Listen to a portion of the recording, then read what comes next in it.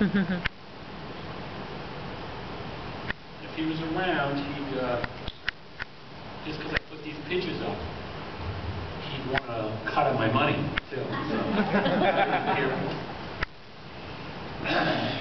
This I wrote, uh, I don't know, a couple of years ago for a book, because somebody asked me to write something about Andrea. So, it's only a page. These days, whenever I have occasion to speak about my friend Andreas Katsulas, I find myself insisting on putting his life in a context and perspective of a whole life lived.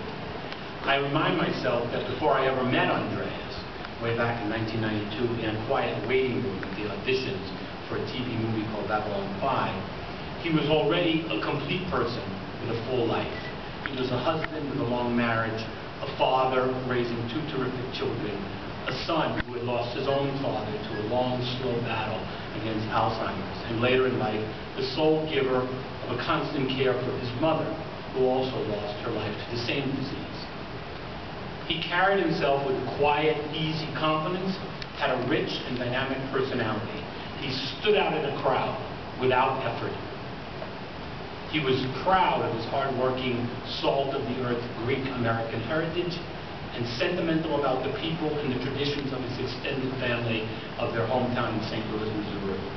He was then, as always, a completely private person, particularly about his spiritual beliefs, but he had strong devotion to his church, putting in hours of work every week for his religious community. I try not to forget that long before the wonderful mind of JMS ever imagined the superb character of G'Kar, Andreas already had a full and successful life in his art. His acting career rested confidently on a 17-year working relationship with the British theater icon Peter Brook and his amazing acting troupe, in which Andreas distinguished himself in live performances worldwide. Audiences had watched Andreas' acting magic all over the world, from the shadows of the pyramid to the formal theaters of Paris, in empty dirt fields and open marketplace of remote African villages, and back again to command performances for royalty in the Persian palaces of Iran.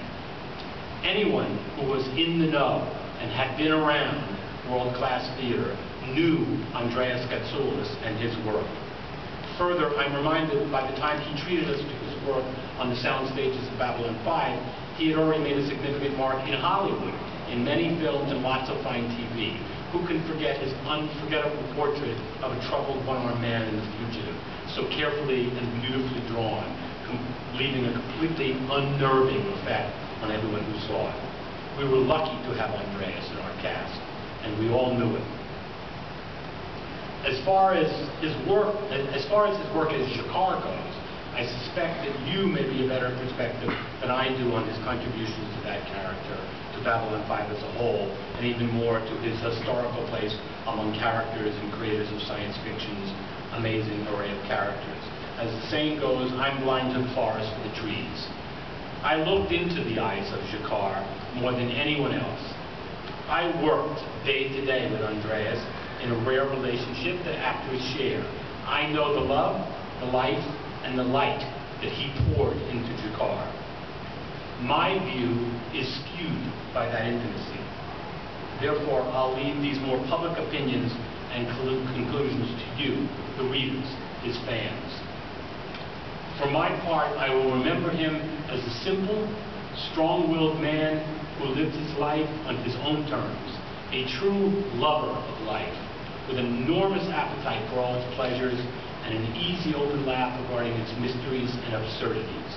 A serious and devoted actor who shared the passion of his heart, soul, and mind generously in his work, and a person I adored working side by side with throughout the days, the weeks, and years of that graceful time.